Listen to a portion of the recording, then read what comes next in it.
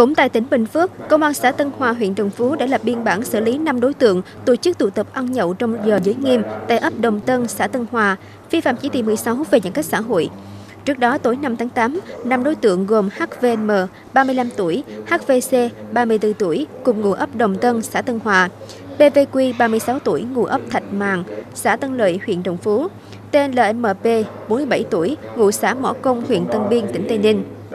HB 41 tuổi, ngụ xã Hòa Hội, huyện Xuân Mộc, tỉnh Bà Rịa Vũng Tàu, đã tổ chức ăn nhậu trong một chòi rẫy tại ấp Đồng Tân, xã Tân Hòa, trong lúc tỉnh Bình Phước đang thực hiện giãn cách xã hội theo chỉ thị số 16 của chính phủ. Cả năm đối tượng đều làm nghề cạo mũ cao su thuê tại ấp Đồng Tân.